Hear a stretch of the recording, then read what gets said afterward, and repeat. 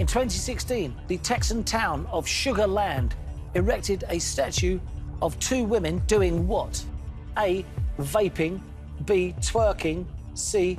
Taking a selfie.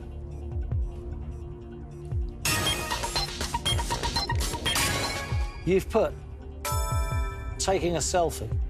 Again, this is a guess, but because it's Texas, I wasn't sure if they would have any statues of people twerking, just because I'm not sure if that would be the kind of thing that they would In the put Midwest. statues up there. Correct answer is.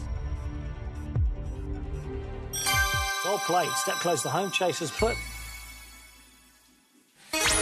Goes also with taking a selfie. Chaser sticks with us.